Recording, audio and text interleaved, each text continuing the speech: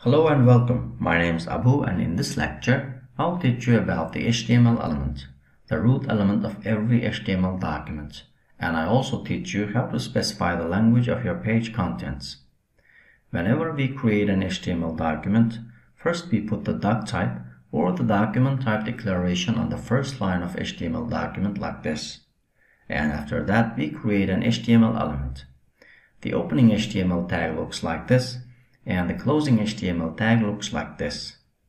The most important thing to remember is that every HTML document can only have one HTML element because HTML element is the root element of your HTML document and all the other elements should be placed inside this HTML element. So you can't have an HTML document like this. In this document, there are three HTML elements, but only the first one is valid and others are invalid. And also, you can't have an HTML document like this as well. In this document, there are two HTML elements. The second one is nested inside the first one. So in this case, only the first HTML element is valid, but all the other nested HTML elements are invalid. Now I'll teach you how to specify the language of the page content.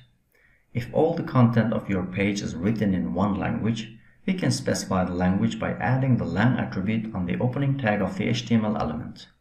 And the value of this lang attribute will be the language code. For example, like this.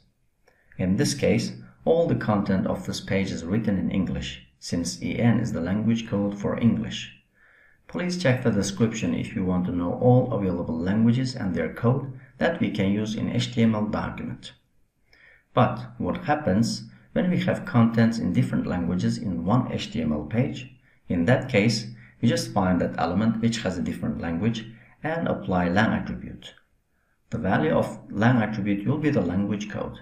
For example, this is the HTML document I created for this lecture. As you can see here, the HTML element has lang attribute and its value is en. So this means the default language of this HTML page content is English. But when we look at line 18, the content of this H2 heading element is in French. So in order to specify the language of this content, we just add lang attribute on the opening tag here and its value is FR. FR is the language code for French. So this will tell the browser that the content of this H2 heading element is in French. Okay, next, on line 23, the content of this H2 heading element is in Spanish.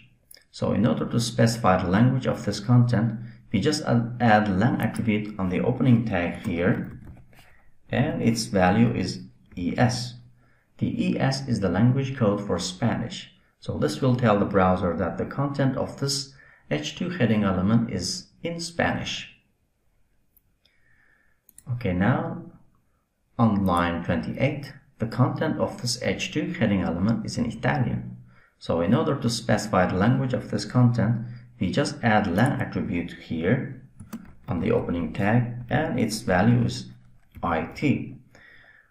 IT is the language code for Italian.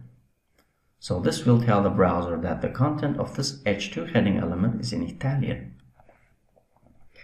So this is how you specify different languages in one HTML page. You just need to find that element which has different language and apply the lang attribute with the language code. Okay, that is how you use HTML element properly and how to specify language of your page contents.